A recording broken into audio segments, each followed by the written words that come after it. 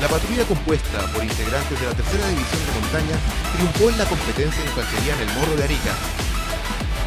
La victoria les dio la llave para representar a Chile en la competencia internacional Cambrian Patrol 2022 en las cumbres de Reino Unido.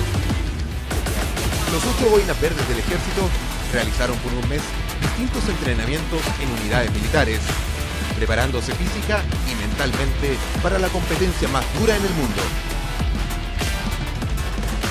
Su preparación final la realizaron en el destacamento de montaña número 3 Yungay, con un ejercicio nocturno de alta exigencia.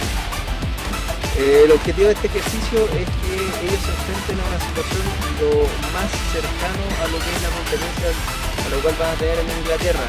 La patrulla simuló una marcha en terreno hostil y elevado, cargando 35 kilos en equipamiento, avanzando por puntos de control hasta un lugar de extracción. Cada instancia de entrenamiento es una oportunidad para sacar lecciones aprendidas, mejorar procedimientos. Con esto vamos a poder enfrentar la competencia de una mejor manera posible.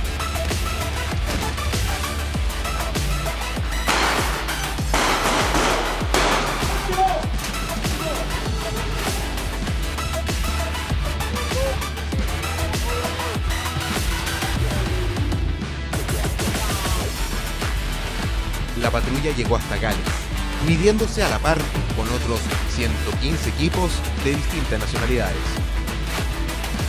Fueron tres días de competencia sin descanso y los chilenos vuelven a casa con la medalla de bronce, dejando la marca de los montañeses del ejército en las cumbres del Reino Unido.